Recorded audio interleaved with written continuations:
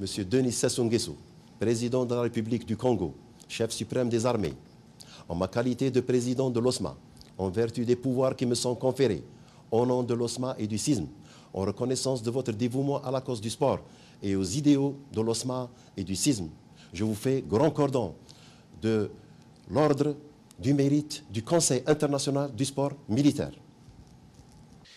Quel est le sens à donner à cette décoration?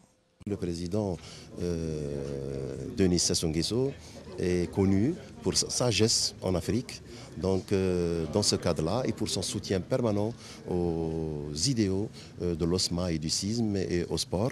Et dans le cadre de cet appui, l'OSMA et le CISM ont décidé de le décorer du Grand Cordon. C'est une distinction suprême qui est réservée exclusivement aux souverains et chefs d'État.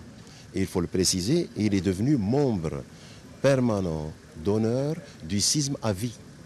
Monsieur de Béziane euh, pense que le Congo-Brazzaville est un bon élève de l'OSMA en termes de respect des cotisations et d'autres obligations qui militent pour le bon fonctionnement de l'organisation. C'est ainsi qu'il sollicite un soutien du président Denis Sassou Nguesso pour rendre, dit-il, plus dynamique euh, l'OSMA qui se veut un modèle dans le cadre du développement du sport militaire.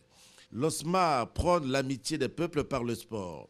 Les objectifs de l'OSMA, comme vous le savez, c'est la promotion et le développement euh, du sport euh, militaire dans les pays euh, membres de l'Union africaine et surtout multiplication des échanges, multiplication des activités et, sportives entre les militaires. Notre devise, c'est l'amitié par le sport.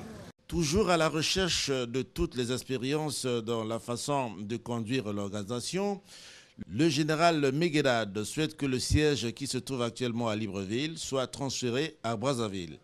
A noter que l'OSMA est créé en 1994 à Istanbul, en Turquie.